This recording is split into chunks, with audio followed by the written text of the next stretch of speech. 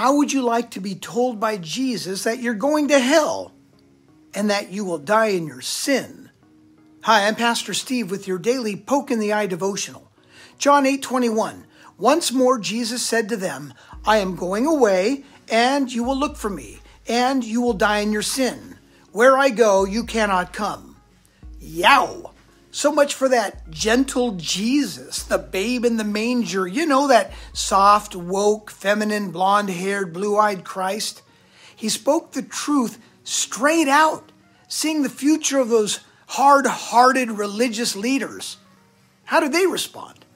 With sarcasm. This made the Jews ask, Will he kill himself? Is that why he says, Where I go, you cannot come? The religious leaders believed that the worst place in hell was reserved for those that committed suicide. In other words, they were saying that Jesus was going to hell. The Savior was undeterred, overlooking the insult, which was to his glory, giving them two more warnings and even an offer of a second chance.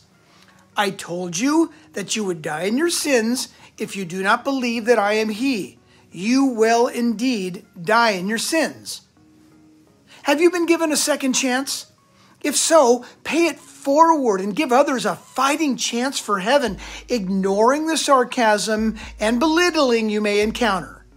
Warn them first.